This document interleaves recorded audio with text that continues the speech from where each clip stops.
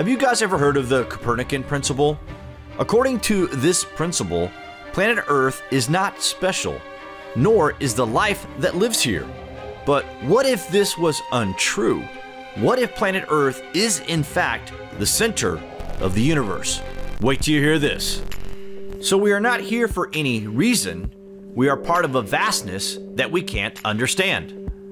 There are over 100 billion solar systems in the Milky Way alone that are similar to this solar system. So in theory, and taking into account that there are countless galaxies with each consisting of 100 billion solar systems like our own, then it is easy to speculate that we are just another dot in space that makes up a slight margin of the vastness.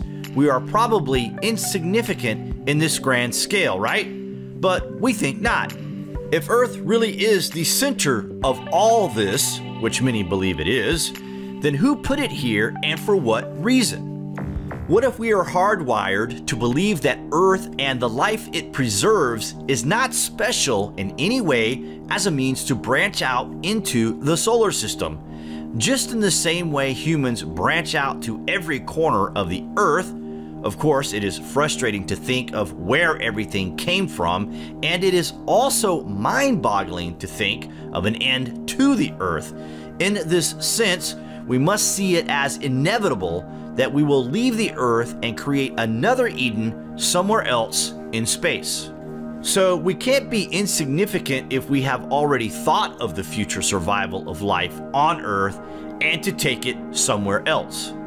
We are told that there are no special places or directions in the universe.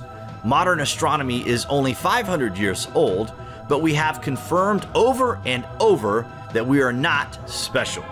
Yet we have never seen any other world that remotely resembles the Earth. So it gets you thinking, where is everyone else? No other intelligent life has ever had a solid confirmation in this universe. Over a decade, NASA and the European Space Agency mapped out the cosmic microwave background. The conclusion? Earth is at the center of the universe.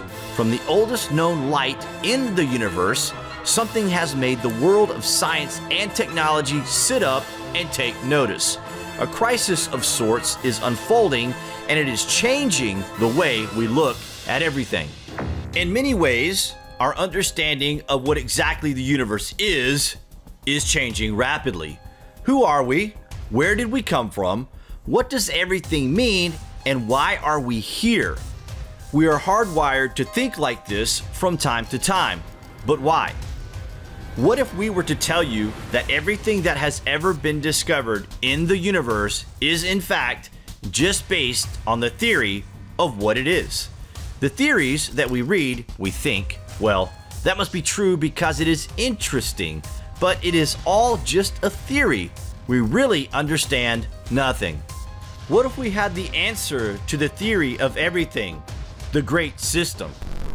Our measurement of reality is the reality we grew up living in. This could have been completely different as history has unfolded. But it turned out like this, and we are completely fascinated by the stars in the sky. We are developing technology that only 60 years ago we seen as science fiction. We are making quantum leaps just like we have done through the ages. Is the today and now we live in a special part of Earth's history? If you would like to see more on this, then let us know in the comments section. And please thumb up our video. Thanks for watching.